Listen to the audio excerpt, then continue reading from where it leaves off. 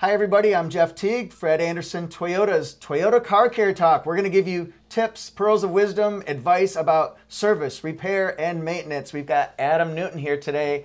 Adam, why don't you remind the people what brings you here? Well, good morning. Uh, I'm here to help out with uh, some of the questions we have about care and maintenance on our car. I'm a master diagnostic technician, been at it for about 24 years, and glad to offer anything I can at this, definitely. All right, excellent. I think you can add a lot of um, expertise and maybe be a, an excellent worldwide resource on this one because somebody wants to know I have a hybrid how long's that battery going to last? Right. That's that's a question we hear a lot here, and you know, honestly, our batteries last an extremely long time, Jeff. We're seeing cars in the second generation of our Prius line that are just now getting their first batteries. We're seeing 20-year lifespans on these, 200 plus thousand miles on some cars.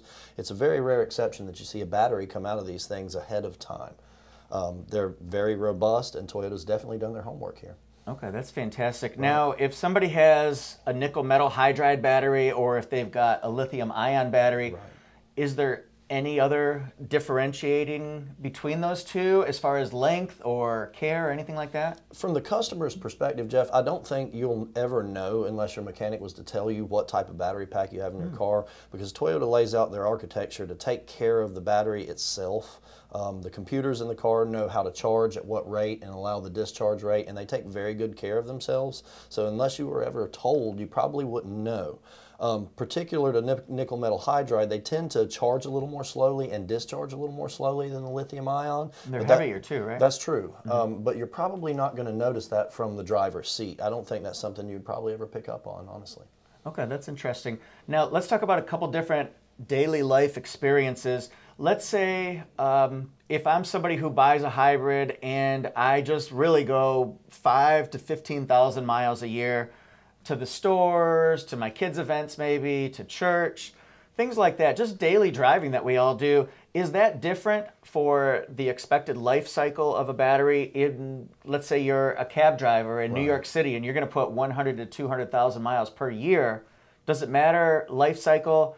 life expectancy if you mm-hmm. drive it a ton per year versus just regular or even low driving?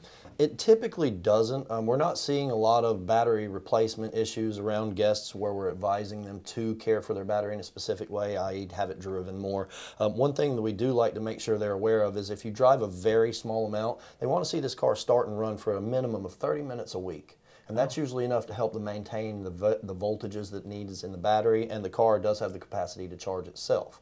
So we do recommend if you don't do anything else, just crank it up and let it run for 30 minutes a week, and that'll keep you on the line. Yeah. And in your experience, is there anything, let's say you told 10 different people this is probably the minimum amount of miles that you can expect your hybrid battery to last. Is, is there anything that you could say, just even being conservative? Conservatively, I mean, I would say a minimum of 100, 150,000 miles minimum, and that is the base minimum. I am really not seeing a lot of replacement of hybrid battery packs, either under warranty or under the customer pay service, not even after accidents. I mean, we're not seeing a lot of fragility on that system. It really does seem to be extremely robust.